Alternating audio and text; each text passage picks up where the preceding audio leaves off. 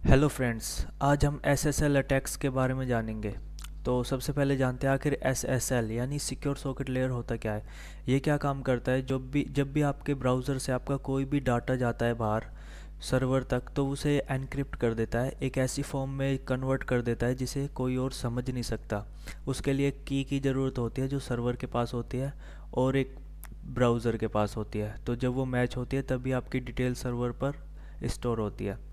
तो इसे एक सिंपल एग्जांपल से जानते हैं कि एस एस एल अटैक आखिर होता क्या है।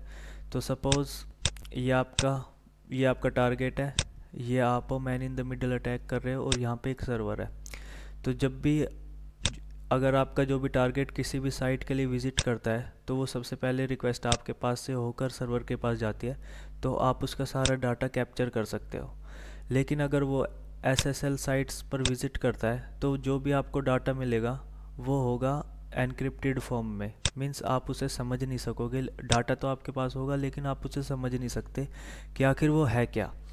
तो एस एस एल अटैक में क्या होता है?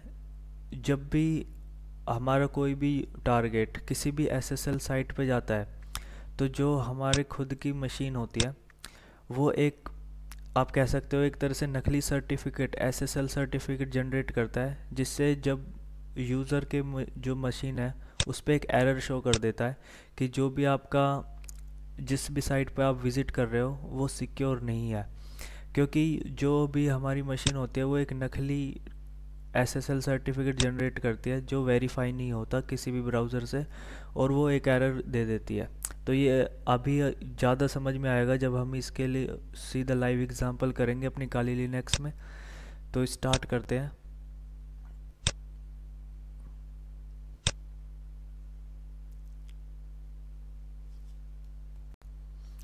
एस एस एल अटैक के लिए हम काली लिनक्स में पहले से ही एक टूल इंस्टॉल होता है, जिसका नाम है ईटर कैप वो यूज़ करेंगे।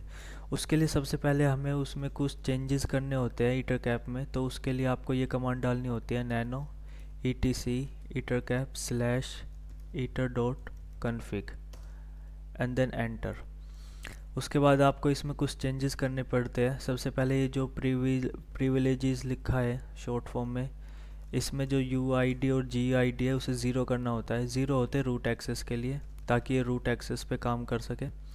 उसके बाद हमें इसमें आई पी टेबल्स होती है, उसे ऑन करना होता है, जो कि कमेंटेड आउट है, और एक कमेंट में लीन एक्स लिखा होता है, उसके नीचे होगी। तो सबसे पहले उसे ढूंढते हैं।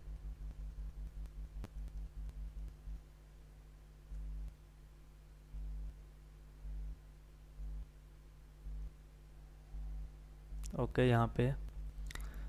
जो ये हैश लिखा है ये कमेंट के लिए होते हैं, आपको बस ये कमेंट हटाना होगा। उसके बाद कंट्रोल एक्स वाई और एंटर अब ये सेव हो गया है। उसके बाद आपको क्या करना है, जो आपकी I I P forward on करनी होती है, उसके लिए आपको ये कमांड डालनी होती है एको वन और ग्रेटर देन प्रोसिस सिस्टम के लिए net I P V four slash I P underscore forward enter अगर कोई एरर नहीं आता हो, आएगा तो आई पी फॉरवर्ड एक्टिवेट हो चुका है। अब जो हमें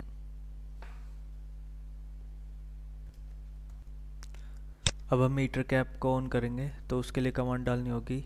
ईटर कैप माइनस इसके दो वर्जन है, एक टेक्स्ट बेस्ड और एक ग्राफिकल बेस्ड तो टेक्स्ट के लिए हम माइनस टी यूज़ करेंगे।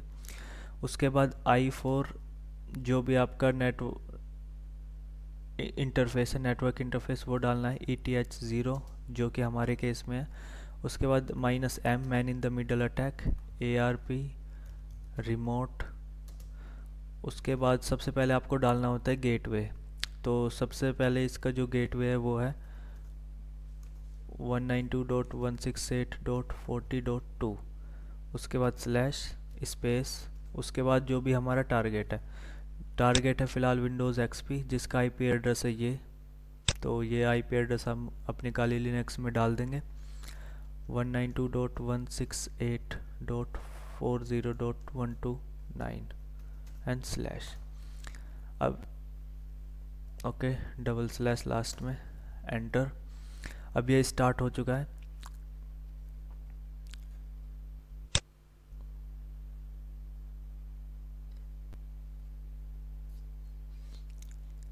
ये कम्प्लीटली स्टार्ट हो चुका है। इसमें लिखा है कि text only interface activated hit H for help in line help तो अगर आप एच दबाओगे तो ये कुछ हेल्प दे देगा, यानी कि विजुअलाइजेशन मोड वी अगर वी प्रेस करोगे तो ये चेंज हो जाएगा ग्राफिकल यूज़र इंटरफेस में हो जाएगा।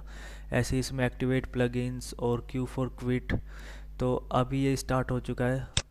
अब ट्राई करते हैं हम विंडो एक्सपी पर किसी भी साइट को ओपन करने की, जो कि एसएसएल प्रोटेक्टेड होगी।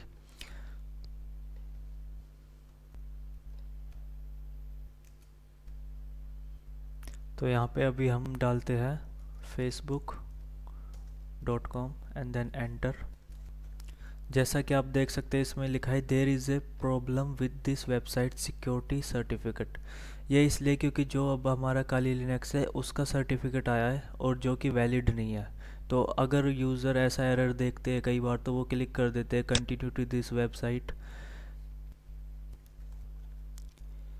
उसके बाद आपको कुछ ऐसा विंडो मिल जाएगी। ये फ़ोन टाइप में ओपन हो गया है, क्योंकि शायद ये सपोर्ट नहीं कर रहा। उसके बाद जब भी यूज़र इसमें कोई भी अपनी ईमेल आईडी सपोज़ अभी हम डाल देते हैं टेस्टिंग माई हैक और पासवर्ड में डाल देते हैं हम माई पासवर्ड लॉगिन नो अब देख सकते हो ऊपर रेड है, जो कि सर्टिफिकेट एरर शो करता है। तो अगर आपके पी सिस्टम पे ऐसा है तो विज़िट मत करना, क्योंकि ये एक तरह से ट्रैप हो सकता है। अभी मैंने जो डाले थे वो गलत है, लेकिन हमारी काली लिनक्स को अगर आप ओपन करके देखोगे तो इसमें कुछ ऐसी सारी चीज़ आपको दिखाई देगी। अब इन्हीं कई चीज़ों में आपका पासवर्ड भी है, जिसे आपको सर्च करना होगा। आप इसके लिए सर्च पर क्लिक कर सकते हो। और फाइंड बटन पे क्लिक करना है। इसको ढूँढने के लिए एक इजी तरीका ये है कि आप जो भी इसमें पास डालोगे पी ए डबल एस तो वो वो आपको वहीं ले जाएगा। वरना आप स्क्रॉल करते करते थक जाओगे। तो ये रस सीधा इसने वहीं पहुँचा दिया। यह यहाँ पे ईमेल लिखी है testing my hack and password is my password तो ऐसे आप यूज़र का पासवर्ड पता लगा सकते हो man in the middle attack करके।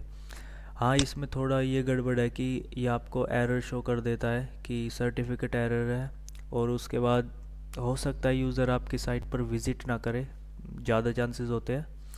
उसके लिए आप दूसरा एक और अटैक होता है, वो यूज़ करना होगा, जिसे हम बाद में बताएँगे अगले नेक्स्ट ट्यूटोरियल में।